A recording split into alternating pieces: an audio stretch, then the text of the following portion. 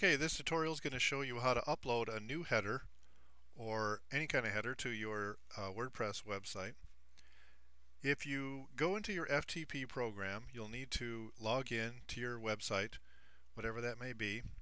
Find the file itself. In this case, I have header.png. Now you might have .jpeg or .gif or whatever.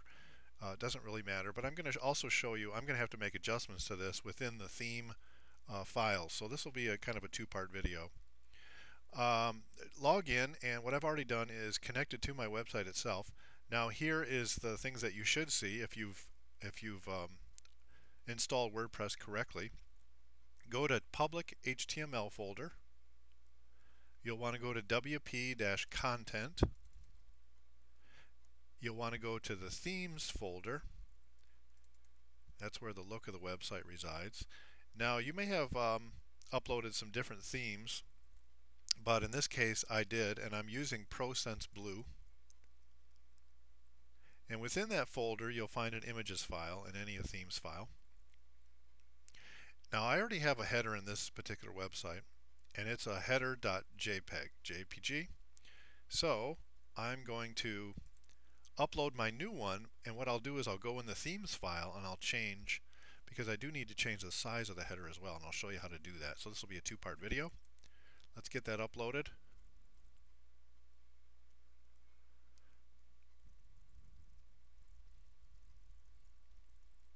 Okay, while that's uploading, okay, you see it's in there now, and I'll be right back, and we'll be in the uh, admin panel for WordPress, and I'll show you how to change uh, the theme the theme file so that it points to this header.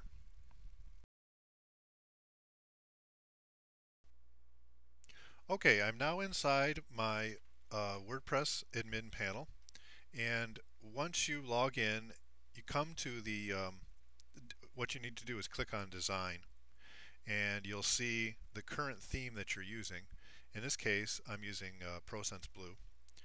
So what I'm going to do now is change the name of the file within the CSS file. So I'm going to point the CSS to a different header file the one I just uploaded. Okay, so click on Design, click on Theme Editor. And you'll see all the different PHP files over on the right here, and I'm going to find the one that you'll want to edit. Now the thing about WordPress is it's all set up to where it draws a whole bunch of files together, mainly PHP files. But there is a style sheet file, and that's the style.css. And that's, that's short for cascading style sheets. The CSS file is the one we want to change. And I'll give you a word of warning, be careful when you change things in the CSS file. You might want to save your original um, because what this does is it determines every setting you put in here determines how your website will look or how this theme will look anyway. Every theme has its own style sheet and that file is style.css. So I'm going to go in and change. I'm going to scroll down here. It's not very far. You'll see some of the body uh, and the page settings. You can see the width is 950. Okay, so I'm going to go down to header. There it is right there. The width is 100%. The background is black. The height right now is 24 or 140, but I want to make it 240. So I'm going to change it to 240. And as I mentioned earlier on, I uploaded a PNG file. So I'm going to change this to PNG. And that's still in the images folder within the ProSense theme. That's about all I should have to change. Now scroll down and be sure to save this or update the settings. You can see there's a lot uh, of settings that makes this website look the way it does.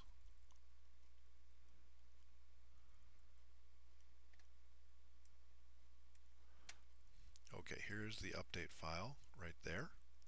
So I'm going to update it. It's always at the bottom left corner. Okay, now my site should look the way I want it to with that new header. Let's take a look.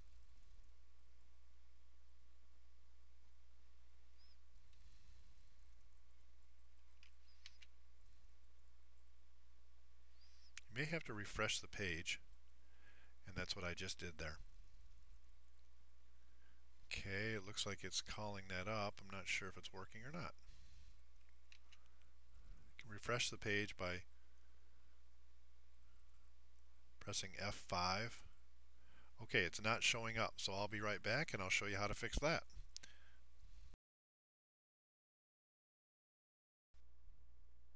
Okay, I found that everything looked good, but my header wasn't showing up, so there had to be a problem. So I'm back in the theme editor. Now this is typical, and I wanted to get this on video because a lot of times you're going to have things that don't work, but you just have to figure out what's wrong. A lot of times what's wrong is uh, simply that you typed in the wrong path to the file itself. And what I found was that was the case. So I went back and I looked, uh, I, what I did was, I'll go down to header here, show you exactly what I did. So if you have this problem, you can fix it. Now what I put in was images slash capital header dot capital PNG. Well I looked in the file inside my FTP program and it was small case PNG. Okay, so we're going to go down. So I'm used to this kind of thing. Always something going on. So update the file now and it should be fine. You saw that the width was fine. I did change the, uh, the height, I mean, to 240 and it looked like it had changed that, but it did not call up that file because I had the wrong, I had capital letters, not small case. Now let's go and see if that header is there. Let's cross our fingers.